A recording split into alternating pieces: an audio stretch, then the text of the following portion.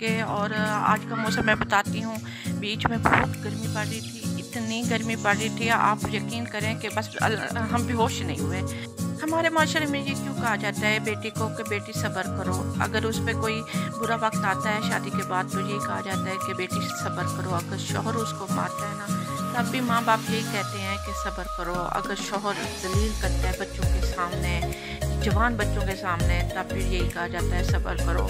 बस क्या औरत ने सफ़र करना ही है सारी ज़िंदगी? क्या उसके, और कोई नहीं, उसका ख्याल करने वाला माँ बाप जो होते हैं ना तो जब वो छोटी होती है, तब भी भाई अगर उसके साथ कोई ज़्यादती करता है, यानी कि उसका, उसके साथ गुस्सा करता है, या कुछ भी कहता है, तब भी बेटी को चुप कराया जाता है। मुझे आप यही बताएँ, क्या लड़की का बस यही काम है चुप कराना चुप कराना, उसको हर बात पे चुप कराना? क्या यही चीज़ हम हमारे माशरे में बेटे को क्यों नहीं सिखाया जाता? क्यों नहीं सिखाया जाता फ़र्क क्यों रखा जाता है बेटा और बेटी में। बेटे को अगर आप लोग यही सिखाना शुरू कर देना कि तुमने ज़्यादती की है, तुम्हारा कसूर है, तुम ऐसे ना करो। आप यकीन करें, उस दिन माशरा, मैं कहती हूँ, एक माशरा समझदार हो जाएगा, ठीक है? बेटी और बेटे में फ़र्क नहीं रखना चाहिए। अगर आपके घर में बेटियाँ हैं और बेटे हैं, दोनों हैं तो उनमें फ़र्क ना रखें और कोशिश करें कि घर में जो चीज़ लाएँ पहले बेटी को दें, पहले बेटी को इज़्ज़त दें। आपको पता है, आपको एक हदीस हदीस है, ठीक है ना, हदीस शरीफ, कि जब हजूर पाक सल्लल्लाहु अलैहि वसल्लम घर में तशरीफ़ फरमा होते थे तो हज़रत फ़ातिमा रज़ी तु जब घर में तशरीफ़ लाती थी, आप सल्लल्लाहु अलैहि वसल्लम उनके लिए खड़े हो जाते थे, ठीक है, इतनी इज़्ज़त देते थे बेटे को, बेटी को। तो पहले उनको बिठाना, उनको यानी चूमना फिर बिठाना, माथा चूमना ठीक है, फिर बिठाना, फिर खुद बैठना। तो इस तरह से उन्होंने इज़्ज़त दी है अपनी बेटी को। तो क्या ये चीज़ हमारे लिए नहीं है? उन्होंने हमें सिखाने के लिए ये सब कुछ किया ताकि हम भी बेटी को वही इज़्ज़त दें। आज अगर आप लोगों ने अपनी बेटी को इज़्ज़त देना सीख ली तो यकीन करें आपकी कल को बेटी जो है ना, वो भी इज़्ज़त पाएगी। यानी कि अगर आप एक माँ हैं, अगर आप एक माँ होके देख रही हैं, बेटी की माँ होके देख रही हैं है अगर आपका शोहर आपकी इज़्ज़त करता है, आपके माँ बाप आपको इज़्ज़त देते हैं तो यकीन करें वही इज़्ज़त आपकी बेटी भी कल को पाएगी। ये मकाफात अमल होता है। मकाफात अमल तब होता है जब आप किसी के साथ ज़्यादती करते हैं तो फिर आप अच्छे की उम्मीद ना रखें। ठीक है तो कोशिश करें अपनी बेटी को इज़्ज़त दें, कल को आपकी बेटी को आपका दमाद इज़्ज़त देगा। ये आप जहन में रख लें। ठीक है ना? आजकल तो ऐसे होता है कि हालात ऐसे होते हैं कि सुबह को अगर तुम लोग किसी के साथ करते हो, शाम को तुम्हारे साथ हुआ पड़ा होता है। इतनी जल्दी मकाफात अमल हो जाता है। तो अगर आप लोग किसी का ख्याल रखते हैं तो आप लोगों का भी अल्लाह ताला भला करेगा, ठीक है? फिर आप अल्लाह ताला से अच्छी उम्मीद रख सकते हैं। आज अगर आप लोग किसी के साथ बुरा करते हो तो कल को आप लोग भी फिर बुरे की ही उम्मीद रखो, अच्छे की उम्मीद ना रखो, ठीक है? अल्लाह ताला कहता है कि देखो जो सब्र करता है ना, उसके लिए बहुत बड़ा इम्तिहान है, ठीक है? उसके बाद जो उस पर इम्तिहान के बाद, सब्र के बाद जो उस पर अल्लाह ताला अच्छा वक्त लाता है ना तो वो इंसान सोच भी नहीं सकता कि अल्लाह ताला मेरे से इतना राज़ी और खुश हुआ है। ठीक है, मैं भी हमेशा यही दुआ करती हूँ अल्लाह ताला, हमसे राज़ी और खुश हो जा और हमको ऐसा बना दे कि हम तुझे पसंद आ जाए। ठीक है, ये एक अच्छे मुसलमान होने की हैसियत से मैं दुआ करती रहती हूँ कि अल्लाह ताला मुझे ऐसा बना दे कि मैं तुझे पसंद आ जाऊँ। आमीन आमीन आमीन और आपको भी। ठीक है तो हौसले वाली बने और हिम्मत वाली औरत बने। किसी से, किसी के नीचे अंडर टल्ले आने की ज़रूरत नहीं है। अंडर टल्ले रह के आप डर डर के सारे काम करें, ससुराल में।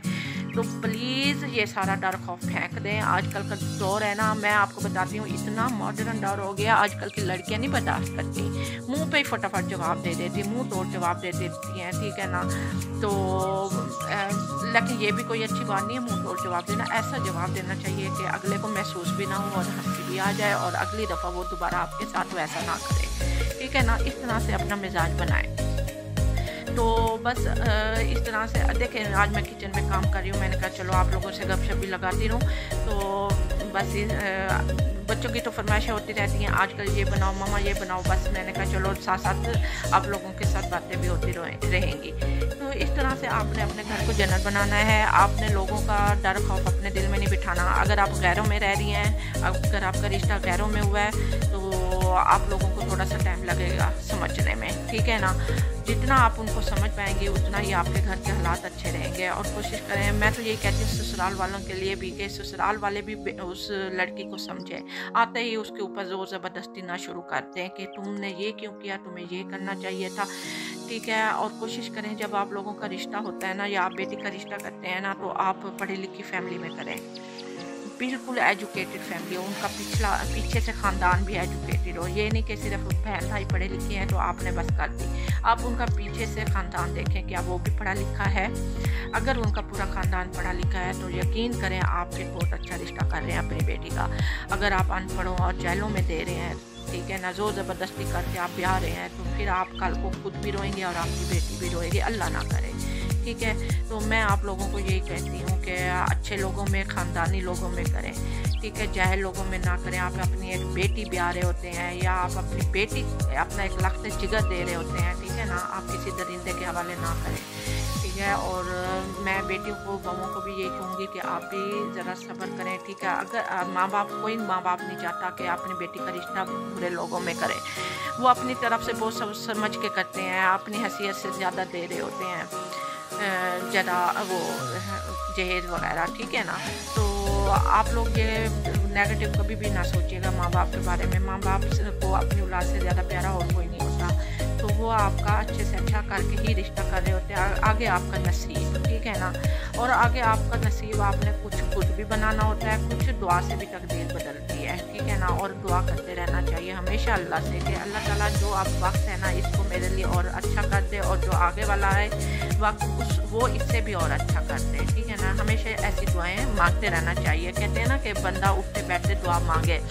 आपको क्या पता सारे दिन में, चौबीस घंटे में कौन सी घड़ी हो कि आपकी कबूलियत हो जाए।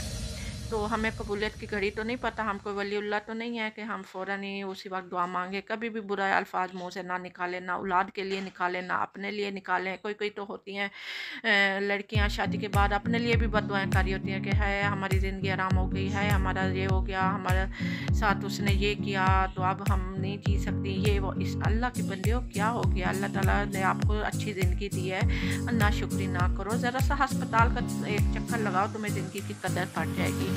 कि ज़िंदगी कितनी कीमती चीज़ है और तुम कितने बुरों से अच्छी रह रही हो। अपने से नीचे वालों को देखोगे ना तो वो सुकून की ज़िंदगी गुजरेगी। अगर अपने से ऊपर वालों को देखोगे तो कभी भी सुकून की ज़िंदगी नहीं जी पाओगी। ठीक है? और कोशिश यही होनी चाहिए कि आप अपनी ज़िंदगी को सुकून में बनाओ और लोगों का डर खौफ अपने अंदर ना बिठाओ और खामोश रहो ज़्यादातर। ससुराल में ज़्यादा ये नहीं करना पंगेबाजियाँ और एक दूसरे की टांग में टांग अड़ाना उसने ये किया तो मैं भी उससे पढ़ के करूँगी। अल्लाह के बंदे हो, ये क्यों, ये तुम लोग अपने ज़िंदगी को एक जहन्नम क्यों बनाना चाह रही हो? जो थोड़ी बहुत अगर आपकी ज़िंदगी अच्छी गुजर रही है, ये भी आप चाहते हो कि शावर आपको धक्के दे के निकाल दे ऐसे नहीं। ठीक है ना? थोड़ा सा समझौता कर लो, थोड़ा सा आप अपने अम्मी के घर हो आया करो, थोड़ा सा आपका माइंड फ्रेश हो जाएगा। फिर जब आप आओगे, हालात पहले से कुछ ना कुछ संभले होंगे। तो आप अच्छी बन के रहो, अल्लाह ताला आपके साथ और अच्छा करेगा।